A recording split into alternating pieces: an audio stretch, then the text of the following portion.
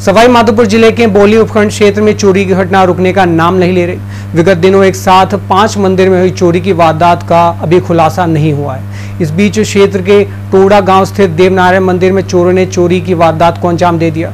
चोरों ने मंदिर से इलेक्ट्रॉनिक सामान व नकदी पर हाथ साफ़ कर लिए।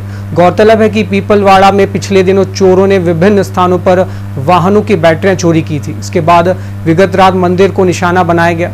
स्थानीय ग्रामीण सुरेश गुज्जर व डूंगर सिंह गुज्जर ने बताया कि मंदिर में सवेरे लोग पहुँचे तो मंदिर के मुख्य द्वार का ताला टूटा हुआ था। इसकी सूचना ग्रामीणों को मिलने पर बड़ी संख्या में ग्रामीण मंदिर पहुँचे। यहाँ मंदिर में बॉक्स से नकदी गायब मिली व इन्वर्टर, इलेक्ट्रॉनिक सामान आदि गायब मिले। इधर मंदिर के बाहर लगा मंदिर समिति बोर्ड क्षतिग्रस्त कर दिया गया। राजनीतिक विरोधाभास से जोड़कर भी ग्रामीणों में घटना की चर्चा बनी हुई है। तनावपूर्ण मामला देखते हुए इसकी सूचना ग्रामीणों ने बोली, थाना पुलिस को दी है। सूचना पर एसएचओ श्री कृष्ण मीना पुलिस जाब्ते के साथ मंदिर पहुँचे। पुलिस ने मंदिर का मौका मुआयना किया। पुलिस ने मौका रिपोर्ट तैयार कर मामले की जाँच शुरू कर दी है।